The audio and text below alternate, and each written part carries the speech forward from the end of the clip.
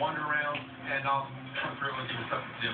Okay? I really want to see how they just move around the kitchen, whether or not they have decent knife skills, also whether or not they're going to actually mesh with the other cooks. Okay? There's big opportunities to compete on top chefs, and I want to see chefs who not only can cook, but also...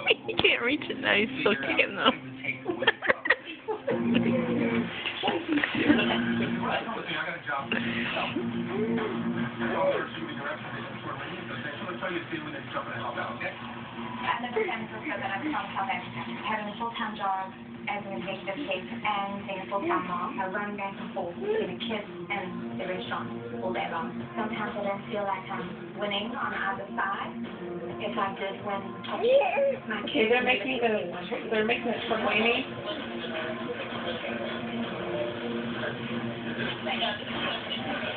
You make sure to leave. Ah.